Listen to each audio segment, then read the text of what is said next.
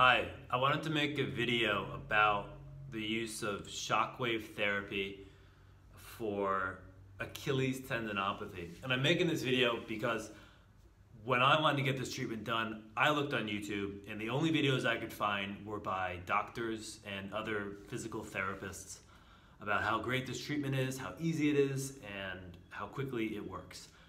But I wasn't able to find anything from patients uh, describing this treatment. So this is the reason I'm making this video. I really like to run. Um, I generally do 30 minute runs, seven to eight minute miles, three days a week is what I used to do. And I wear minimalist shoes. I've been doing that for about eight years and I've had no injuries except this one on my left Achilles tendon. Uh, prior to that, I used regular running shoes and was injured all the time. So I was running one day back in September, this is like six months ago, and my foot slipped within my shoe just a little bit, and then I felt the pain in my tendon. I had to hobble slash walk back to my apartment, and uh, I laid I laid off it. I just didn't use it. I figured it'll heal on its own. Uh, didn't walk much, just tried to go easy. As I felt it kind of getting better, I increased the amount that I walked, but as I would increase the amount that I walked, the pain got worse. I even tried hiking, the pain got worse. So it would get better, it would get worse. And it just, after a couple of months, I was like, this is, it was clear that this was not healing. And I was getting really frustrated because I wanted to get running again, I wanted to get active, I wanted to hike, and I couldn't because I didn't want to re-injure my tendon.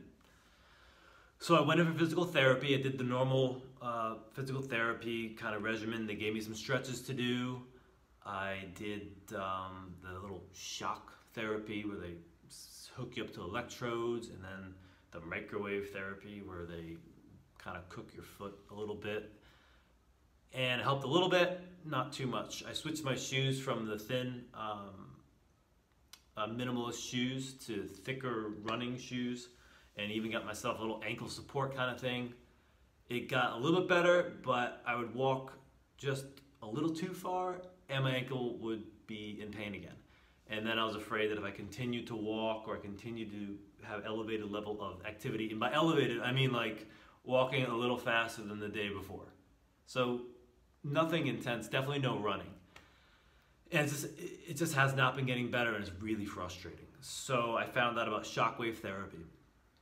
Um, I did my first treatment of shockwave therapy two days ago. And uh, so far, you know, it's, it's too early to tell if there's any effect. But I'll tell you about my experience. Went in there, um, and they have you lay, for me, lay face front on the table. Uh, he uses a little kind of a, looks similar to a gun kind of thing, and he uses uh, some conductive gel I guess, to help conduct the shocks.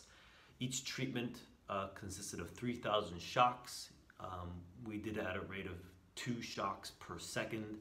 You have a level of intensity that you can select between one and five. I chose one, and he recommended that I start with one. And from the videos, they made it seem like it wasn't too painful or uncomfortable. I'll be honest, I found it to be very uncomfortable. And I found it to be rather painful. I'd say one out of 10, it had to be close to like a four. It, um, it may have been a very mental thing, just knowing that the purpose of this treatment is to cause small amounts of damage to, to then stimulate blood vessel growth and healing. Um, but it made me feel very uncomfortable. And, and there was some pain I could feel, especially as he aimed his little shock waver um, towards the bone, and you can feel it in the bone. You can feel it going through the tendon, each shock.